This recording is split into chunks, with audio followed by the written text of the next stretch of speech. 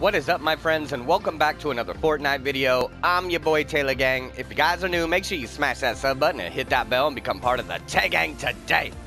We're doing a giveaway on April 30th for $25 of the console you're choosing. Want to be involved in that? You got to be a sub to the channel and comment Tayway down below. Okay guys, so the challenge we're going over in this video is a three-stage challenge. And the first stage is dance between three ice sculptures.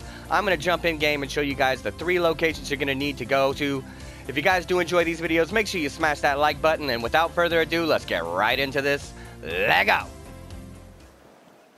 Okay guys, so here we are in game. Now the first place you need to go is out by Polar Peak. If you just follow my trail here on my glider, you guys will find exactly where I'm talking about.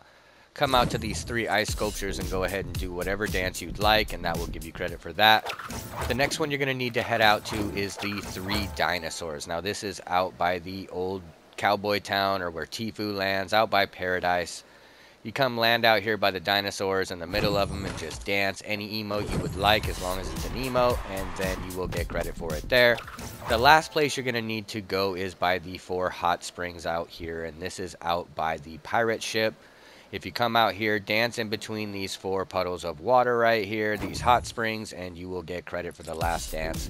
That's going to do it for today's video. Smash that like button if this did help you. Thank you, and have a wonderful day.